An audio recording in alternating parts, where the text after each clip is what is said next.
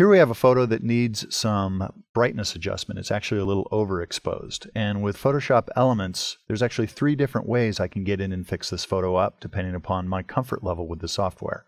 If I just want to get in and do it really quickly and make it look better, I can use the quick mode. I can see what it's going to look like, and with just a click, I can get this photo looking great. If I want a little more instruction to walk me through how to adjust a photo, I can switch to Guided Edit and come over to the Brightness and Contrast. And Photoshop Elements will walk me step by step through the process of adjusting the brightness and contrast of this photo. I have the instructions that I need and all of the controls. And if I really want to take control, that's what Expert Mode's all about. I can pop in and I can really do fine tuning adjustments to get this photo absolutely perfect.